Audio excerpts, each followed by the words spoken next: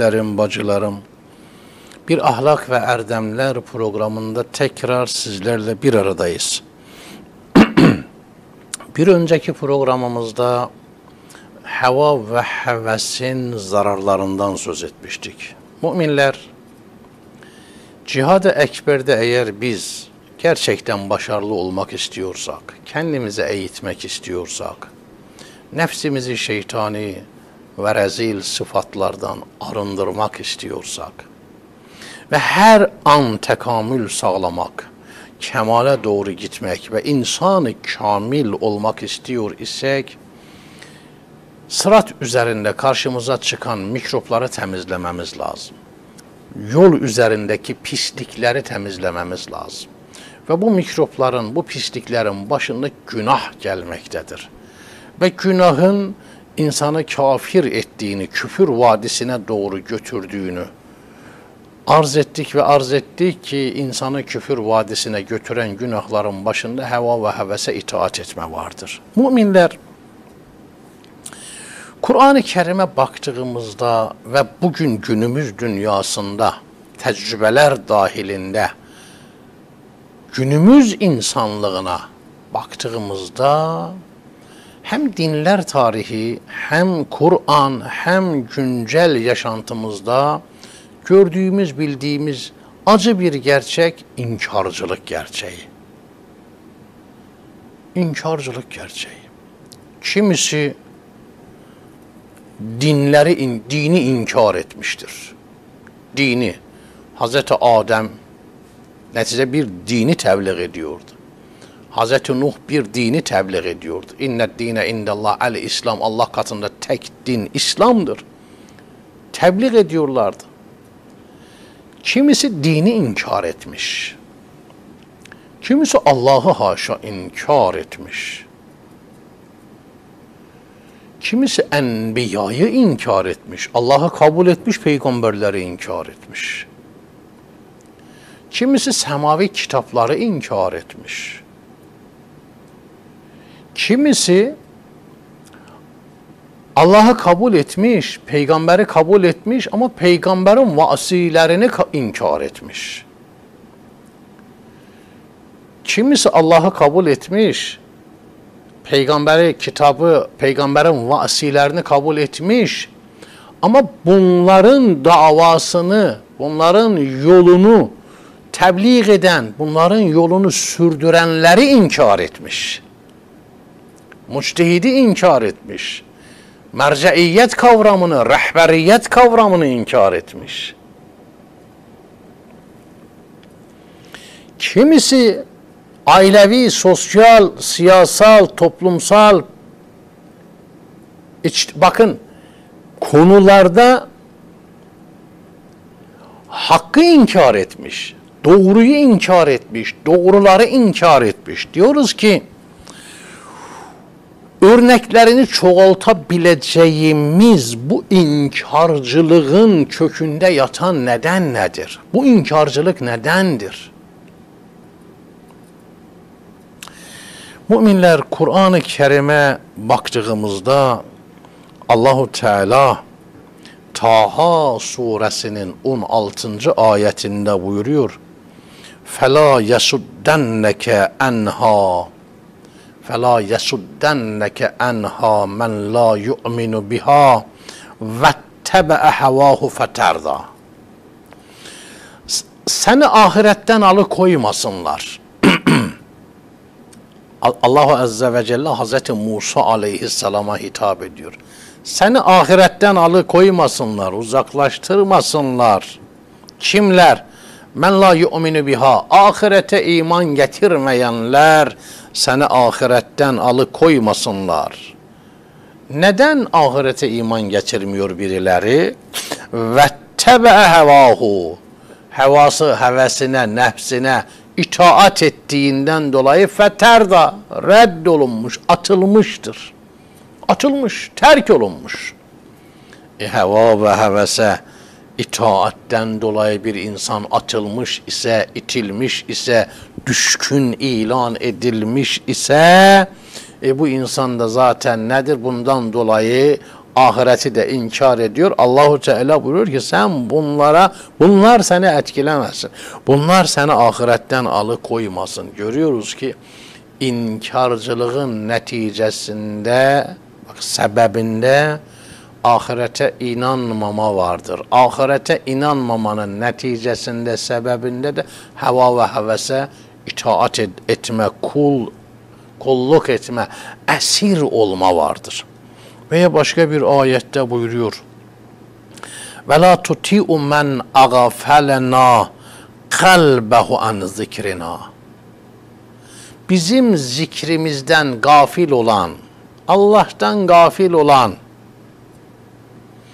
dinden gafil olan, ahiretten gaflet eden, Allah'ın hesabından gaflet eden, mana ve maneviyattan gaflet eden, namazı bilmeyen, oruçtan gaflet eden, namazdan gaflet eden, dinin emirlerinden gaflet eden, kalbim temiz olsun da namaza ne gerek varmış deyip de gafil olan, namaz kılanları da biliyoruz, görüyoruz deyip de şeytanı mutlu eden ve ve ve bunların örneklerini çoğaltabiliriz.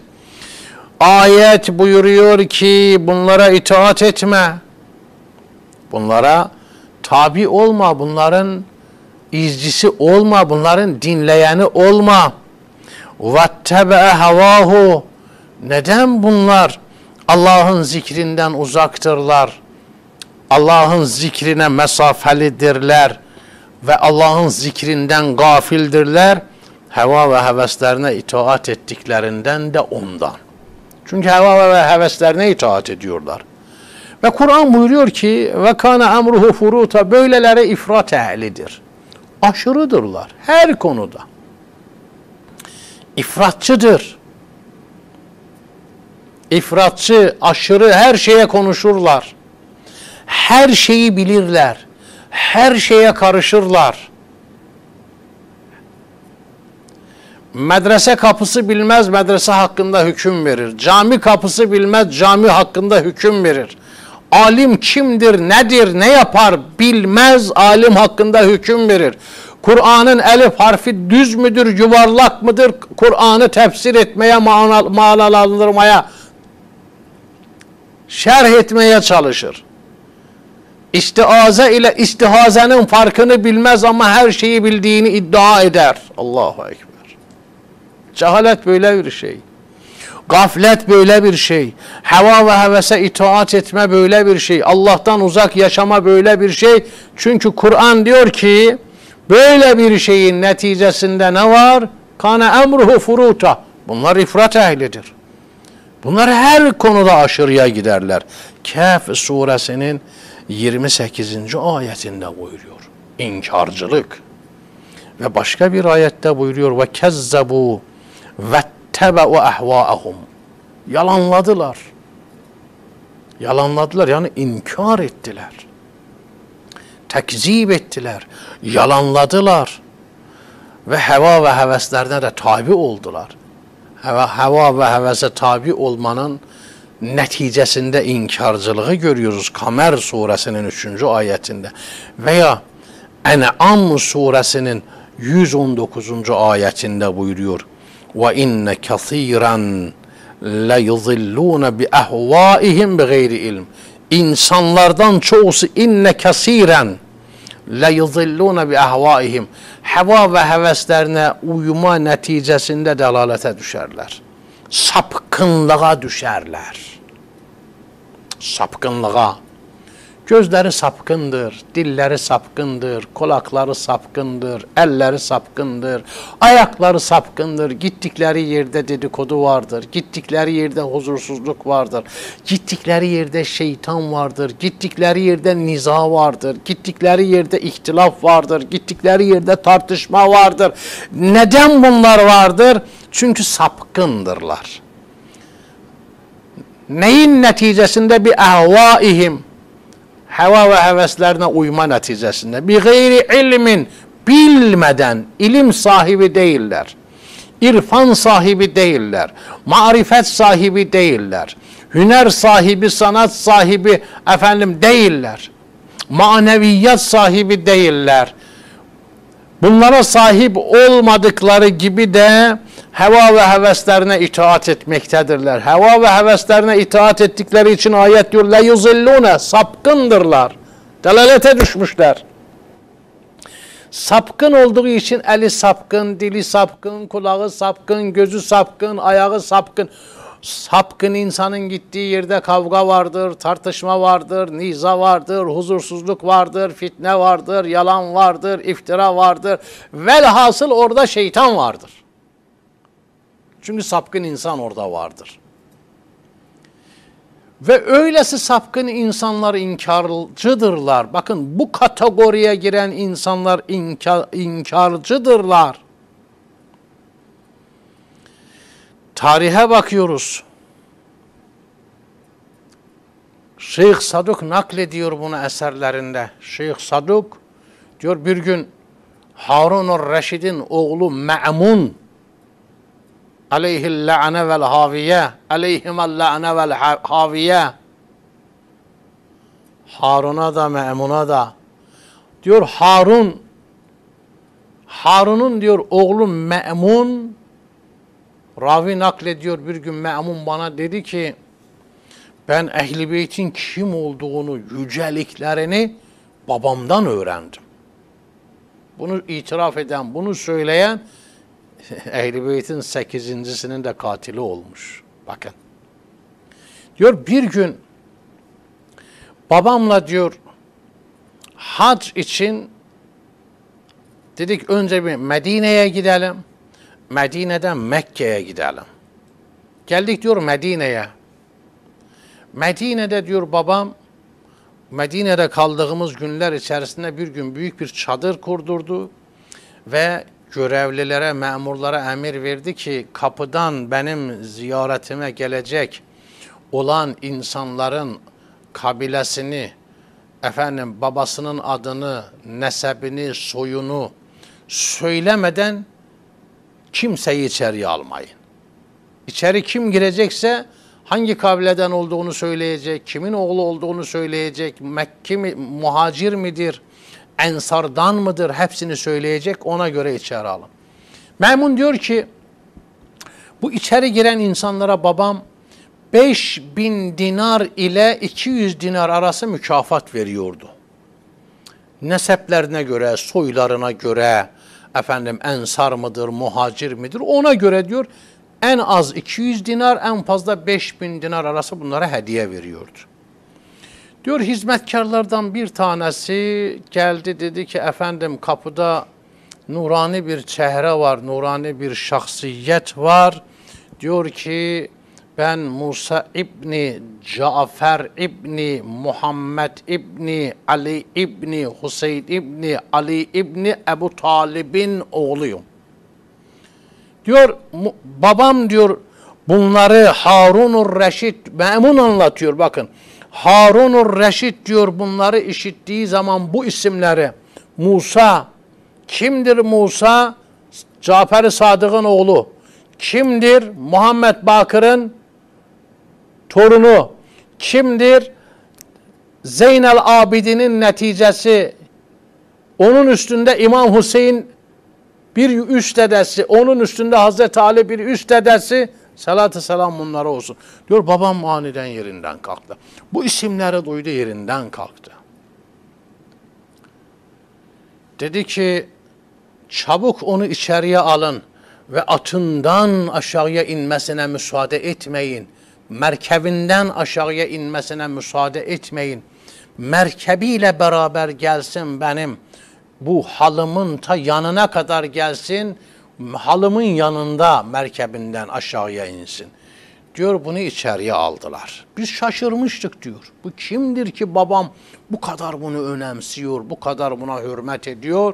Diyor babam geldi halının diyor önünde. Diyor buna dedi ki lütfen merkebinizden inerken ayağınızı yere basmayın. Benim halımın üzerine basın, kilimin üzerine basın.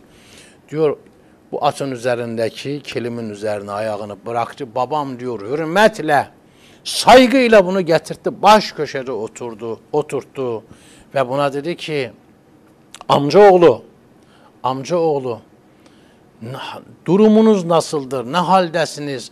ne kadar bakmakla olduğun efendim yükümlü ol, sana efendim seninle geçimini sağlayan kaç kişi varsınız dedi 500'ün üzerinde. Dedi hepsi senin evladın mı? Dedi hayır benim evladım 36 tanedir. Geri kalan haşimilerdendir, seyyidlerdir, saadatlardır. Ehli beytin evlatlarıdır. Peki bunları evlendirdin mi? Dedi ki hayır evlendirmek için imkanımız yok. Bunları evlendirmeye bizim imkanımız yok. E, tarlalarınızdaki ekinler ne durumdadır? Dedi ki ekinler kuraklıktan dolayı iyi mahsul vermedi. Borcunuz da var mı? Dedi borcum da var. Dedi ben bunların hepsini ödeyeceğim ve büyük bir meblağ sana katkıda bulunacağım. Öyle bir miktar vereceğim ki o bekarları evlendir, muhtaç olanların elinden tut diyor. Vaatte bulundu diyor. Biz şaşırmıştık. Biz diyor şaşırmıştık. Ve sonrasında diyor İmam Musa ibn Cafer aleyhisselam bunun yanından ayrılmak isterken diyor babam kalktı ve bana Memun diyor bana kardeşim Emine ve diğer kardeşim Muhammed'e dedi ki alın bunu götürün kendinizle beraber saygıyla, izzetle, ihtiram ile evine kadar siz uğurlayın. En ufak bir saygısızlık istemiyorum. Diyor biz bunu götürürken, bununla beraber giderken diyor İmam Musa Kazım aleyhisselam e, memun diyor.